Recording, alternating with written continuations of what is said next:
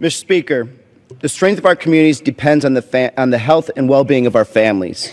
Unfortunately, millions of our families across our nation, including thousands in Arizona, are impacted by Alzheimer, Alzheimer's and dementia. June is, Al is Alzheimer's and Brain Awareness Month. It is my hope that we can come together, Republicans and Democrats, and commit to give researchers the resources they need to combat Alzheimer's and other diseases, but also to make sure patients and families have the care and support they need. Policies like paid leave, caregiver support, workforce training, and long-term care options must be expanded if we truly want to make a difference in the fight against Alzheimer's. These policies are especially important for women and communities of color. Hispanics are 1.5 times as likely to have Alzheimer's as their white counterparts, and African Americans are twice as likely. Studies have also demonstrated that socioeconomic factors play a role in the disparities of Alzheimer's. This is completely unacceptable. Mr. Speaker, in America, your health and the health of your family should not depend on your income or your zip code.